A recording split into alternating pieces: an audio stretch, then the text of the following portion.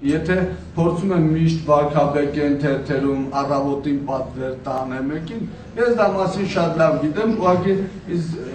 չեմ էլ մտածում, այդ պատվերները ով է տալիս, ինչով են զբաղված, ինչի համար են դա անում։ Ուղղակի ես ասում եմ, որ ես կարիերիստ չեմ, Հայաստան իշխանություն չեմ ուզում, արխային կացեք։ Մի մտածեք, ասում եմ, մի գրեք իմ մասին ստից թերթերում։ Ես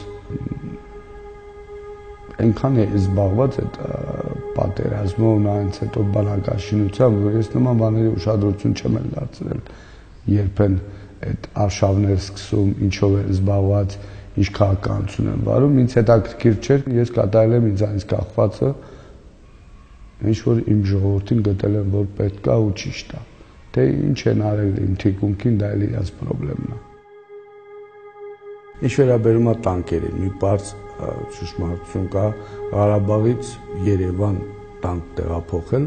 դա 400-360-370 կիլոմետր է, որ այսօր որևէ տանկ այդ ճանապարհով տեղափոխելու համար պետքա ամիսներ։ Այն էլ հարցականի տակա նա կհասնի իր շարժիչով Երևան թե ոչ։ Սա փաստ է, դա ծիծաղելի է, մարդիկ ուղղակի տեղյակ չեն ու չեն հասկանում ինչից են խոսում, ինչի համար են դա արտահայտում, ինչ նպատակ են հետապնդել, փորձել Սամվել Բաբայանի ներկայացնել հրեշ, որ նա չգիտեմ ինչ անում, դա բարձ դատական process-ի ժամանակ, եթե դա կարելի է դատարան համարել, իհարկե, դա դատարան չէր, փորձեցին դա դրանց մասին այլևս լռել, որտեվ եթե իրոք ես լինեի այդ հանցագործը, որի մասին խոսում էին, մի տասնյակ գործ կդնեին այդ դատարանում եւ կփորձեին դա ապացուցել։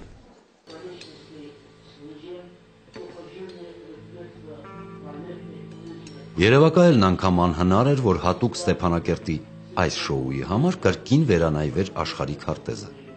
Չէ որ նրա վրայից արդեն ջնջված էին այն երկու պետությունները՝ Խորհրդային Միությունը եւ ադրբեջանական ԽՍՀ-ն, որոնց 61 թվականի քրեական օրենսգրքերով էլ առաջնորդվեցին այստեղ։ Դեմոնտաժված պետությունների մեղքով անհրաժեշտ հիմքերը չգտնվեցին, ապացուցելու առաջադրված մեղադրանքը։ Ձախողվեց թե նախաքաննական եւ թե դատավարական փուլը։ Այն ինքնախոստովանական ցուցմունք է, համապատասխանում է օբյեկտիվ ճշմարտությանը եւ համեմատելով վերնշված անձանց ցուցմունքների հետ գալիս է այն եզրակացության մնում էր ապավինել սովետական ապացույցների թակուհու ինքնախոստովանանքի մահակին որը ոչ թե կոտրում, այլ հակառակի պես կոտրվում էր պատերազմն անցած ազատամարտիկների վրա։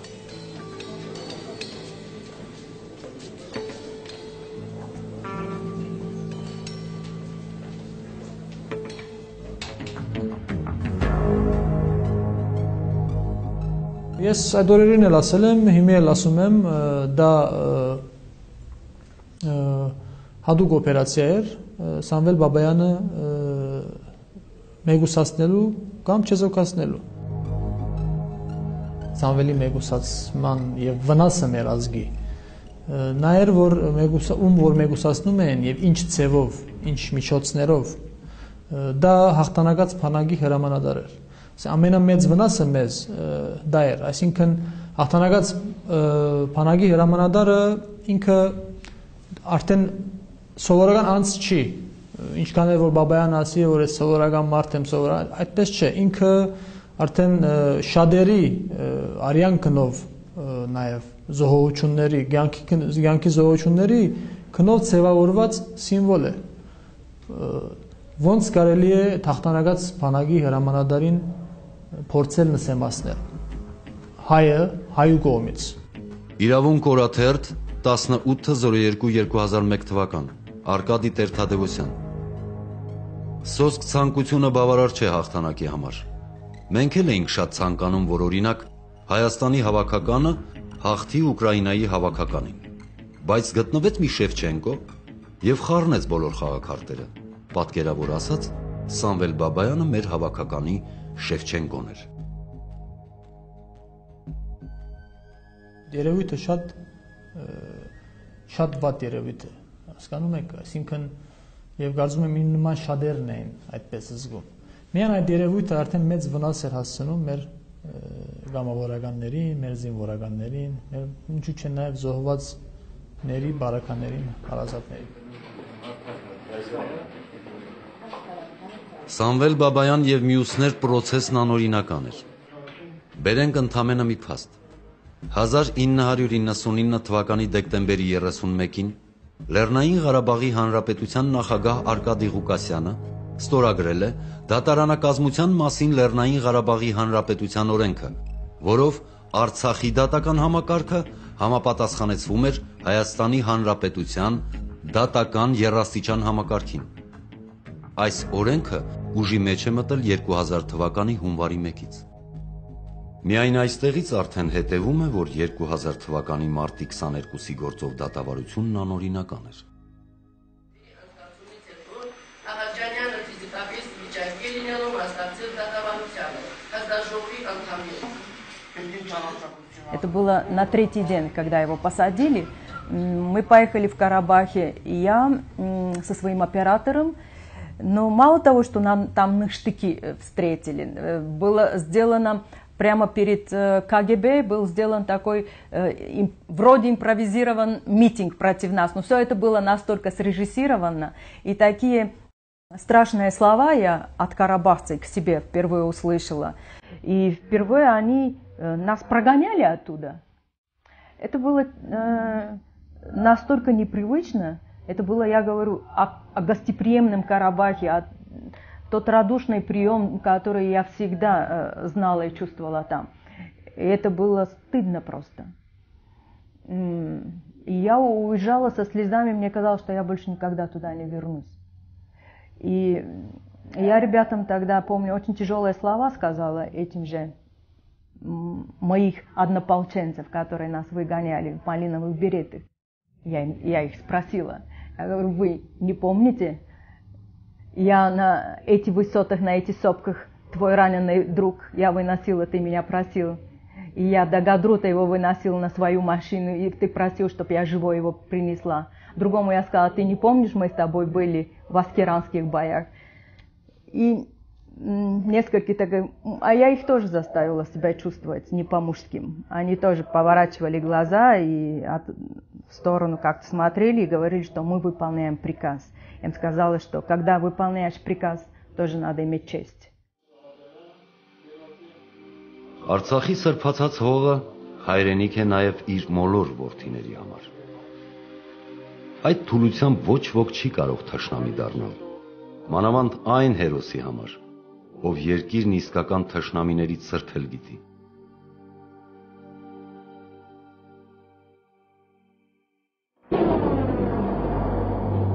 «1992-ի վերջերին Լաչինի միջանցքը նորից սեղմվել էր։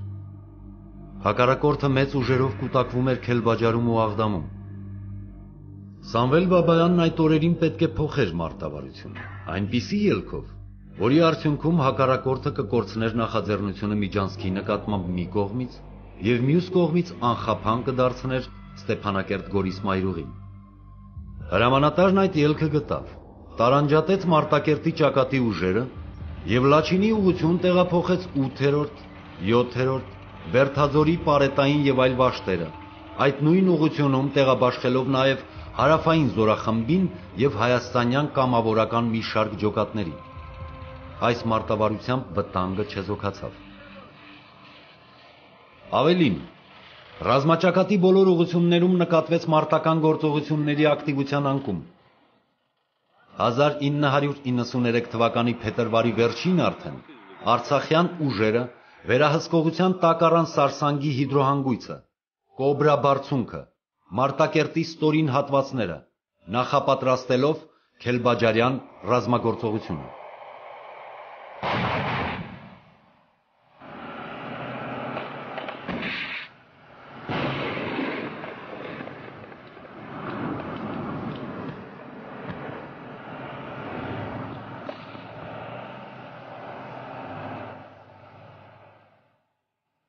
«1993 թվականի մարտի 27-ից ապրիլի 1-ը իրագործված Քելբաջարի ռազմական գործողությունն ավարտվեց Լաչին Քելբաջարյան խմբավորման ջախջախմամբ։ Հնգորյա մարտերի արդյունքում ազատագրվեց 3800 քառակուսի կիլոմետր տարածք։ Ստեղծվեց անվտանգության գոտի, որն ամրացրեց Արցախի թիկունքը, կասեցնելով նաև մարտակերտցիների անverջ թվացող բռնագաղթը։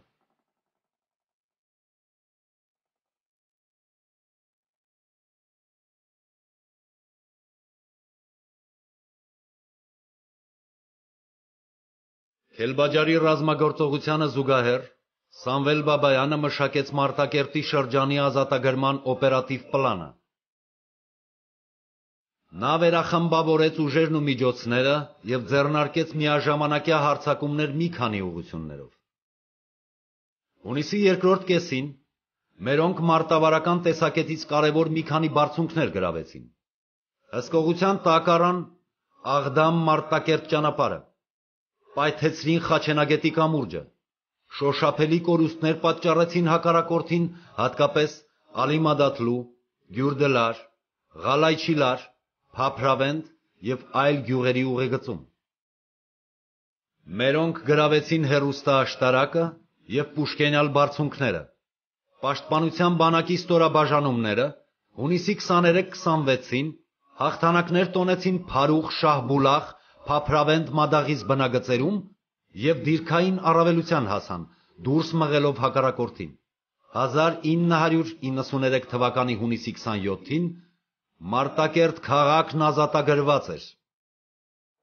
Здравствуйте, товарищи!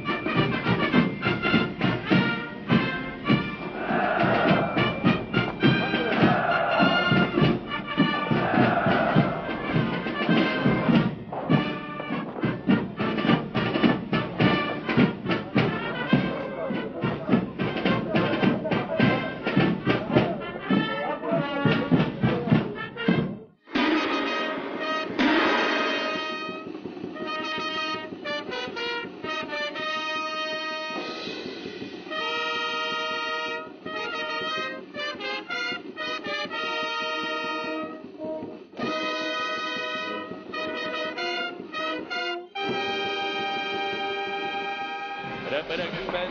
երկրորդ պաշտպանական շրջանակի ծառայողները, հրամանատար գնդապետ Մոնտես Հակոբյան, լեգենդար Ղորավակ Մոնտեմելտունենի աջանի անփորձակ Զավուդաչու։ կայացրել հանրապետության հարավ-արևելյան սահմաններում։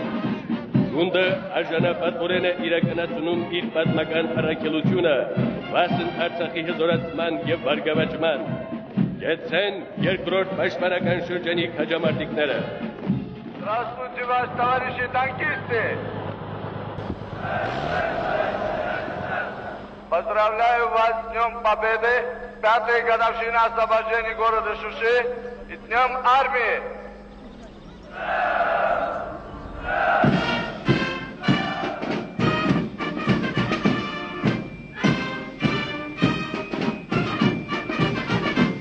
ربرك المدنون 8-րդ կենտրոնական պաշտպանական շրջանի հաղթամարտիկները։ Գնդի ստորաբաժանումները ազատագրել են 54 բնակավայր, լիկվիդացրել կամ արգրավել են թշնամու 17 տանկ, հետևակի 11 մարտամեքենա, 47 ավտոմեքենա, 19 հրանոց եւ ականաներ, մեծ քանակությամբ մարդուժ։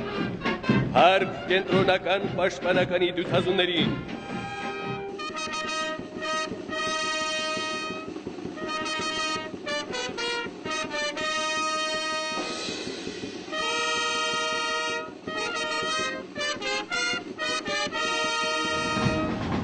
Գեցեն Արցախյան երկնքի վշտարթուն ժամապահները Լեռնային Ղարաբաղի Հանրապետության Պաշտպանության բանակի զենիթահրթիռահրետանային գնդի մասնագիտացած ու արհեստավարժ զինծառայողները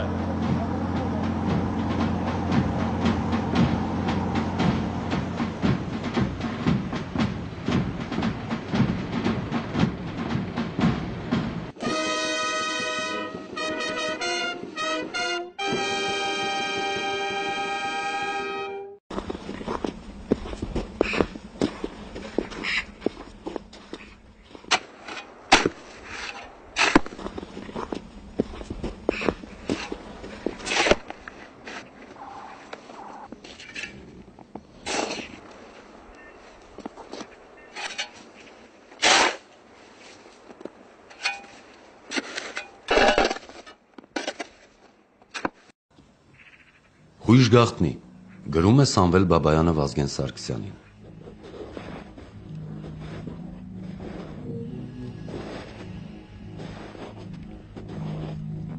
Իմ գործունեության ընթացքում ցավոք միանգամից 4 հակառակորդների եմ դիմակայել։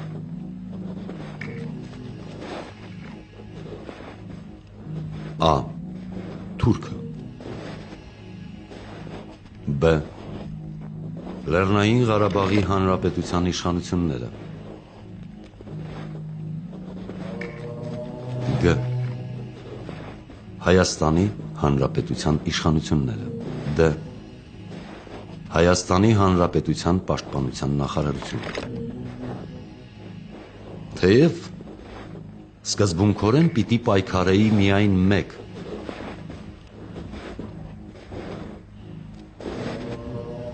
Մնացյալ երեքի համար էլ ընդհանուր թշնամու դեմ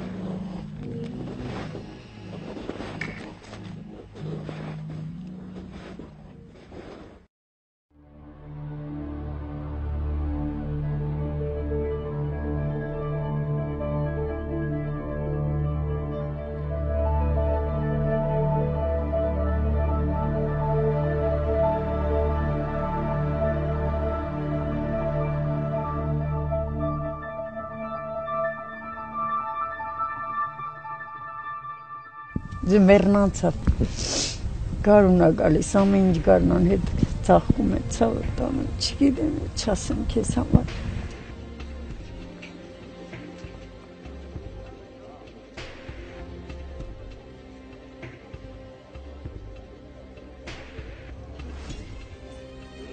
Ես գտնում եի, որ ինքը Հայաստանում ազդեցիկ ֆիգուրա եւ կարար օգներ, որ այդ ճակատները,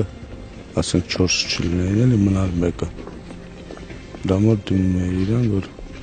փորձի ավելի խորը ուսումնասիրի իրավիճակը։ Իր գործնական օգտակար լինի, ոչ չլինի այդ ճակատները։ Այսօր այս ուրախորը մեր համար ուրախորա, որովհետև ծնվել են մեր հայոց ազգի երկու սպարապետներ, մեկը Վազգեն Սարգսյանը, մեկը Սամվել Բաբայանը, որոնք կյանքները նվիրեցին հայոց ազգի համար։